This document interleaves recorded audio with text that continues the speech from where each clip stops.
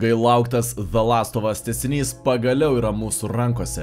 Praėjusi dalis sugebėjo papasakoti kvapą gniaužiančią istoriją ir parodyti puikius personažus bei jų asmenybės pokyčius ir tobulėjimą žaidimo metu. The Last of Us Part 2 turi pateisinti nemenkus lūkesčius, nes fanų užkelta kartelė siekia dangų. Tačioje žaidimų balso apžvalgoje sužinosite, ar Naughty Dog studijai pavyko įvykdyti misiją neįmanoma. The Last of Us Part 2 labai stipriai remiasi savo istoriją, tad apie jos detalės labai nesigilinsime. Galite neįsigasti. Atsimerkite ir atsikiškite ausis, nes jokių surprizų nesugadinsime. Visus sužeto vingius paliksime atrasti jums patiems. Pagrindinio personažo vadžias perima Elė. Praėjus keturiems metams po pirmosios dalies pabaigos, ši visų pamėgta ir kaip traktoristas besikeikianti mergina dėl savų priežasčių nukeliaus į lietingą į Seatlą. Čia ji atsiduria mirtinai pavojingoje situacijoje ir apsupta nelabai draugiškų vietinių. Iškart iškart galime pasakyti, lengva nebus. Kaip ir galima buvo tikėtis, istorija puikiai atlieka savo darbą, o personažai taip pat turi savo žavesi ir kartais parodo tikrai netikėtas savo pusės. Istorijos prezentacija yra puikia.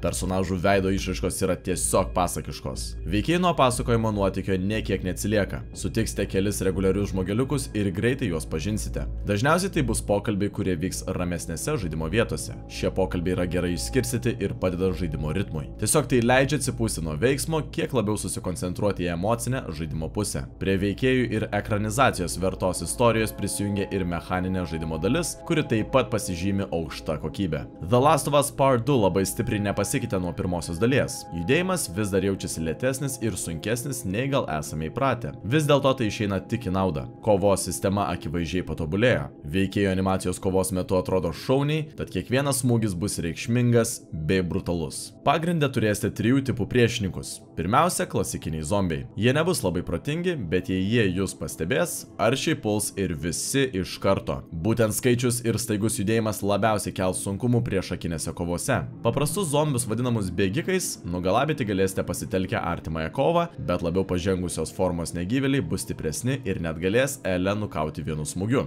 Jie labiausiai orientuojasi pagal garsą, tad jei išliksite tylus, galėsite lengviau pro juos prasmukti arba turėsite progą jais manipuliuoti metydami butelius ir taip atkreipiant zombių dėmesį. Papildomai rasite sporų paveiktų žmonės, kurie bus tarpinėje grandyje tarp vadinamųjų runnerių ir klikerių. Pavojingi ir greiti. Be viso to tamsiuose koridoriuose lauks stambus blogiukai, kurie sugeba paskleisti sporų debesį, o pastarasis kenkia veikėją į trūkšties lietus. Žmonės yra kitokie, bet vis tiek labai pavojingi priešininkai. Jie bendradarbiaus ir tai gali sukelti komplikacijų, nes net paprastame sunkumo lygyje Elė kris nuo kelių smūgių, o šie priešininkai dažniausiai turės kokį nors šaunamąjį ginklą. Pamirškite Rembo laikus, užpulti ginkluotą eilinį nekšelį yra praktiškai neįmanoma. Reiks naudotis turimų inventoriumi išradingiau arba ieškoti priedangos ir apeiti juos iš šono. Kadangi Elė nėra stiprus vyras, koks buvo Džuelis, tai skirtumas tarp kovų irgi bus. Negalėsite brutaliai jėga nugriauti priešų, teks juos įveikti savo sugebėjimais ir staigumu. Tad visi susiremimai nesušaunamojo ginklu truks kiek ilgiau nei kad buvo pirmoje dalyje.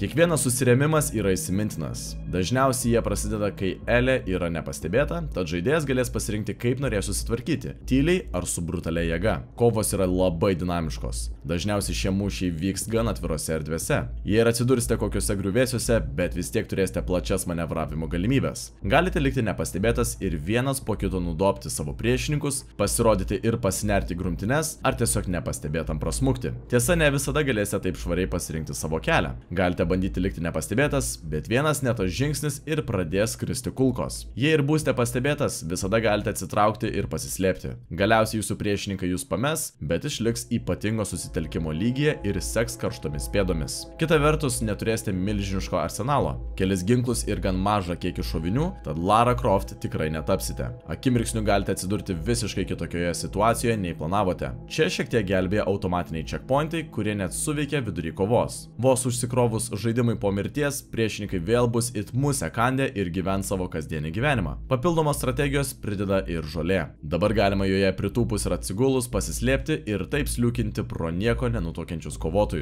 Visgi ir čia reiks nepamesti galvos, nes priartėjus netoli priešininko, jis Eli pastebės ir pradės kovą. O jei ne žmonės užmatys, tai šunis tikrai suos. Tai Taip, šį kartą bus ir šie keturkojai. Pastarėjai užuosti galės priešus tiek laukia, tiek pastatuose ir ims sekti protagonisto paliktų kvapo taku. Kad šunis pamestų pėtsakus, teks peršokti kokią užtvarą ar perlipti tvorą. Priešininkai yra gudresni neįprasta, bet vis tiek pasitaiko situacijų, kai Elė tikrai turėjo būti pastebėta, o kitas tiesiog vėpso orą. Griežtesniuose žaidimo sunkumo režimuose ši problema yra mažesnė, bet išlikusi. Bandantis slėptis už priedangos, kartais tai darys pirmoko lygiu. Sakykim, pritūps už permatomos tvoros. Tikri genijai, tiesa? Vienas iš smagesnių kovų aspektų yra priešininkų elgesys. Jie kalbės ir bendraus tarpusavyje bei vadins vienas kitą vardais. Šis dialogas yra pateiktas taip, kad lengva suprasti, kad šie žmonės pažįsta vienas kitą. Jei nepastebėti nuskinsite kokį žioplį, jo bendražygiai pastebės, kad jų draugas neatsako ir pradės ieškoti. O suradęs rodys atitinkamą reakciją. Visą tai labai sužmogina jūsų priešus. Buvo tokių kalbų kaip Ei Maikai, ar radai ką nors? Hebra, Maikas neatsako, einu jų ieškoti. Džonai, radau Maiko kūną, mūsų užpuolė.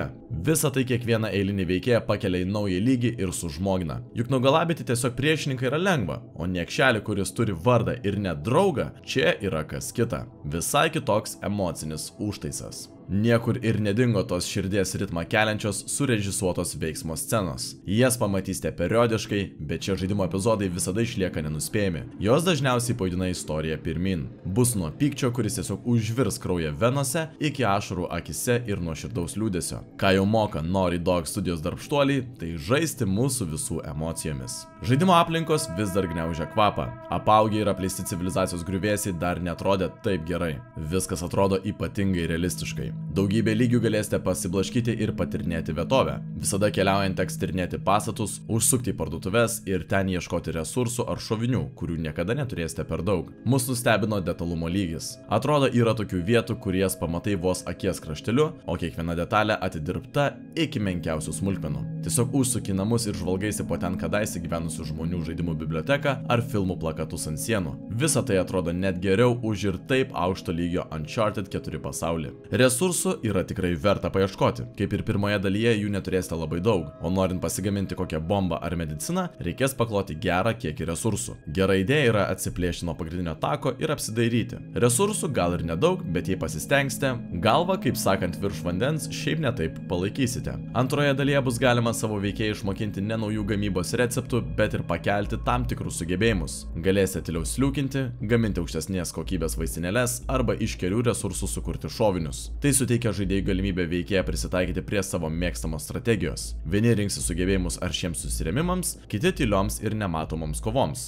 Ginklų tobulinimo stalai grįžo iš pirmosios dalies, iki čia viskas pakelta į naują lygį. Kiekvienas patobulinimas bus matomas vizualiai ir kiekvieną dalį Elai gražiai uždės, prijungs ir galiausiai nuvalys dulkes nuo ginklo. Kita priežastis pasiblaškyti yra šalutinės istorijos. Jos nėra būtinos, bet The Last of Us Part 2 puikiai moka papasakoti istoriją pasitelkiant tik aplinką ir kelis raštelius.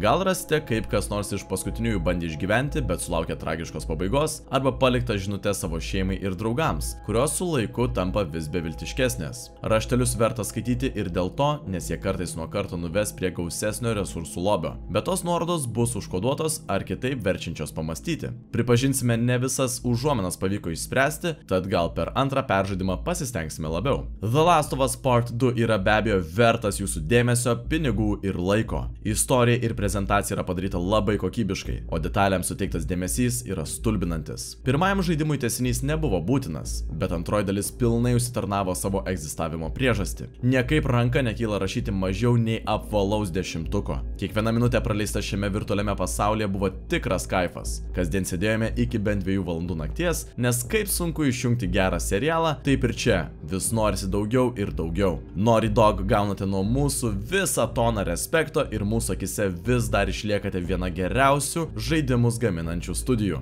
Vien dėl tokių žaidimų kaip The Last of Us Part 2 verta turėti ar įsigyti PlayStation 4 konsolę. 10 iš 10 ir ne kitaip.